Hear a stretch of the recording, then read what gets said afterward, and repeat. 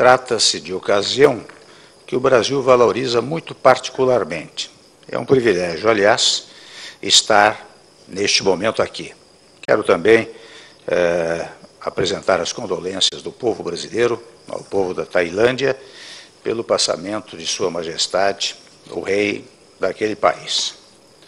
Estimados colegas, a sociedade brasileira tem a marca do pluralismo. É na multiplicidade étnica e cultural que construímos nossa unidade. Orgulhamos-nos de uma longa tradição de abertura ao mundo. Na realidade, nós somos obra dessa abertura. Nós, brasileiros, temos vocação para o diálogo.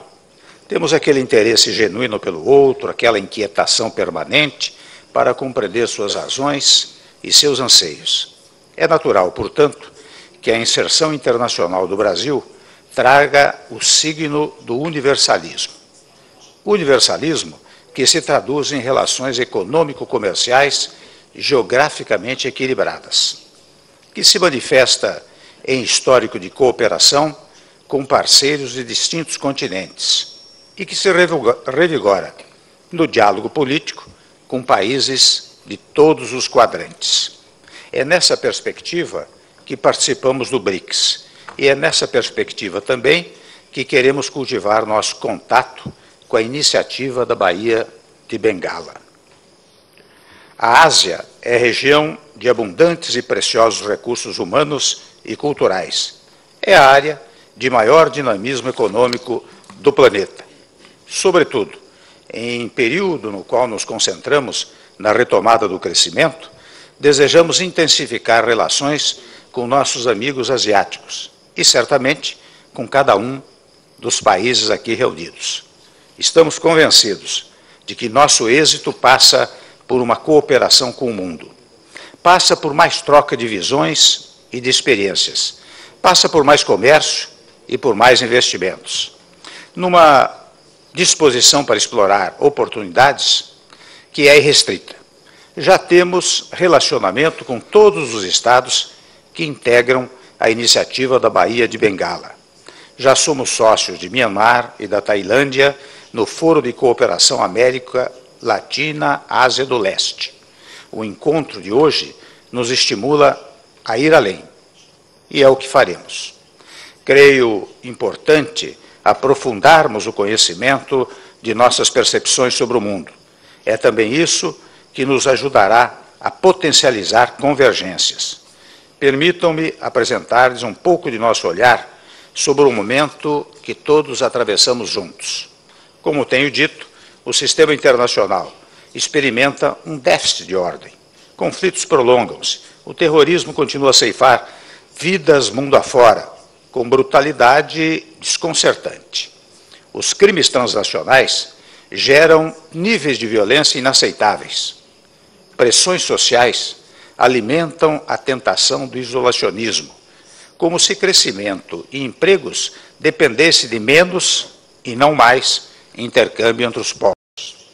E o sistema internacional simplesmente não se mostra equipado para lidar com esses imensos desafios. É verdade que temos obtido resultados em determinadas frentes. O Acordo de Paris, tantas vezes mencionado, sobre mudança de clima, é caso significativo. Não apenas chegamos a um acordo, como estamos assegurando as ratificações necessárias à sua pronta entrada em vigor. Também encorajador é um encaminhamento diplomático do dossiê nuclear iraniano. Isso para dar alguns pontos positivos. Mas o fato é que, com frequência excessiva, as instituições de governança global se revelam insuficientes para os desafios de nosso tempo. Vêm-se, não raro, flagrantemente ultrapassadas pelos acontecimentos. É como se nossas estruturas de governança se fossem engessando, enquanto o mundo, em plena efervescência, não cessa de transformar-se. O diagnóstico, que aponta para um imobilismo, é necessário, mas está longe de ser suficiente. É essencial que tenhamos clareza quanto às limitações do sistema. Não podemos, porém, permitir que essas limitações nos condenem à resignação. Ao contrário, é nosso dever superá-las. Nossas sociedades esperam que possamos dar conta da complexidade dos desafios atuais, com sobriedade e sentido de realidade, e, ao mesmo tempo, com firmeza e determinação. Como asseverei perante a Assembleia Geral da ONU, com pés no chão, mas com sede de mudança. Os processos globais, vistos à distância, podem parecer abstratos. Sabemos todos, contudo, que têm impacto direto para nossos cidadãos. No cotidiano de nossas famílias, ganham evidente concretude.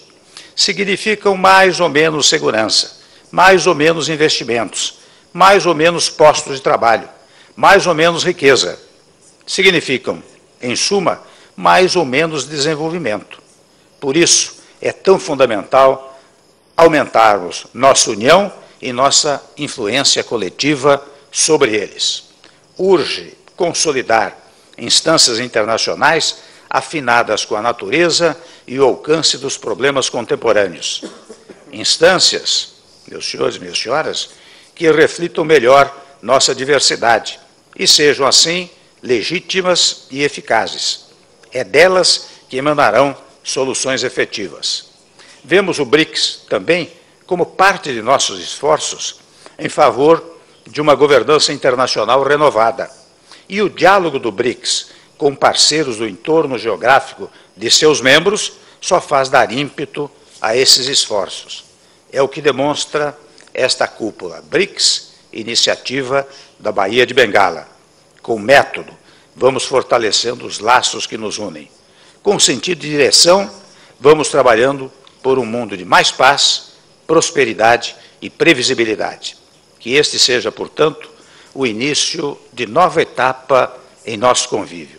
Etapa que propomos seja de pragmatismo e de crescente entendimento, sempre em nome de nossos objetivos comuns. Muito obrigado.